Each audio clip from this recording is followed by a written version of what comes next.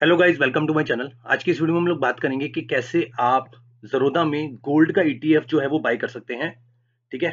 अपने जरोदा के सर्च पे जाके ऊपर आप यहाँ पर लिखेंगे गोल्ड बी डब्ल्यू एस बीस तो यहाँ पर आपको दो ऑप्शन दिखेंगे एनएससी का और बीएससी का। तो आप बीएससी वाले पे प्लस करेंगे तो यहाँ पर ये एड ऑन हो जाएगा, ठीक है? तो ये आपको दिख जाएगा, अभी जो प्राइस है 59.99 का है। इस पे आप जाके यहाँ पर बी पे क्लिक करेंगे। बी पे जैसे ही क्लिक करेंगे, नई विंडो खुलेगी, ठीक है?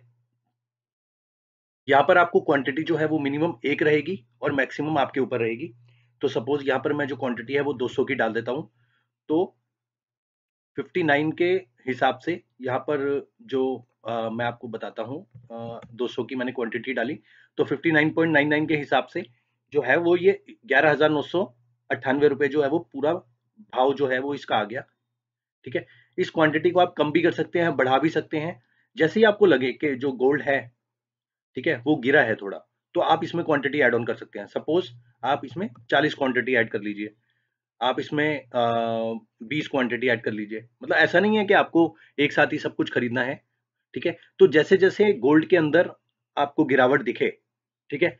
यहाँ पर आके आप गोल्ड के ईटीएफ में जो है वो बाइंग जो है वो कर सकते हैं। गोल्ड की इन्वेस्टमेंट जो है वो काफ़ी अच्छी मानी जाती है। तो मैं आपको रिकमेंड करूँगा कि आप धीरे धीरे गोल्ड के ईटीएफ को बाय करते रहें अपने पोर्टफोलियो में, ठीक है? जब भी गिरावट मिले, आप इसके चाहे दस यूनिट डाल लीजिए, पाँच यूनिट डाल लीजिए, भले ही एक यूनिट डाल लीजिए, ठीक है? धीरे धीरे करके डालेंगे तो आपको जो आपका पोर्टफोलियो है वो अच्छा दिखेगा और आपका स्टेबल रहेगा पोर्टफोलियो स्टॉक्स के अगेंस्ट में। इसकी एक तरह से बैलेंस मेंटेन कर रहे हैं आप अगर आप गोल्ड के अंदर इन्वेस्टमेंट कर रहे हैं। और ये काफ़ी अच्छा वो है तरीका गोल्ड के अंदर इन्वेस्टमेंट करने का। प्योरली डिजिटल तरीका है। ठीक है? इसमें आपको कोई फ़िज़िकल गोल्ड को बाय नहीं करना, उसको स्टोर नहीं करना, उसके चोरी होने की खतरा नहीं है।